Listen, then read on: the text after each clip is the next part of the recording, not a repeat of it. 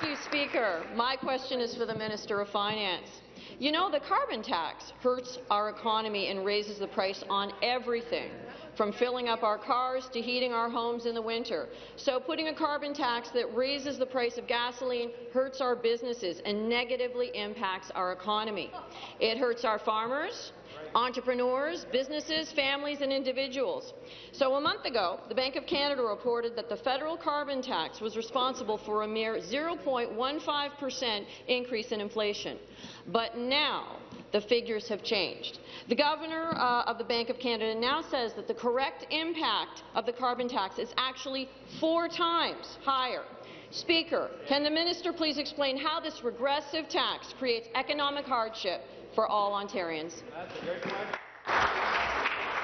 And to reply, the member for Oakville and parliamentary assistant. Thank you, Speaker, and thank you to the member for that great question. Our government knows that Ontarians are worried about making ends meet during these difficult times. We know that now is not the time for a punitive and costly tax that makes life more unaffordable for the people of Ontario and the people across this country. I'm of course referring to the federal carbon tax. Speaker, this tax is, as the member pointed out, driving up inflation and making all areas of life more expensive. It is making it more expensive to drive to the store to get food for your family. And once you arrive, Speaker, it's making the food at that store more expensive. This is why our government continues to urge the federal government and do the right thing and eliminate this regressive carbon tax. I wish the members opposite would join us in requesting the federal government cancel this tax now. Hear, hear. Supplementary question. Thank you, Speaker, and thank you from the member from uh, Oakville, the parliamentary assistant, and the Minister of Finance for their dedicated work. Uh, Speaker, the last thing the carbon, the last thing that Ontarians need is another tax. Unfortunately, the carbon tax is just that. So it's another tax that essentially drives up the prices of everything.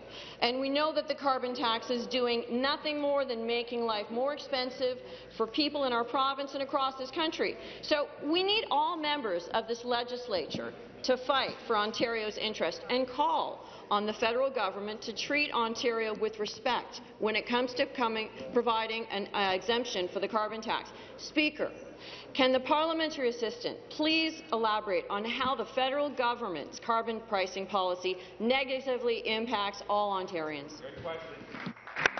Parliamentary Assistant Minister of question from the member opposite, and the member is correct in saying this is a serious issue affecting all Ontarians and Canadians.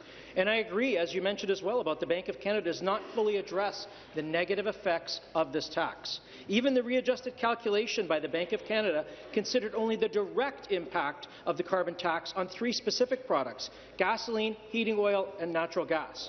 The federal government is failing to recognize that the rising costs of consumer goods will quickly become unsustainable.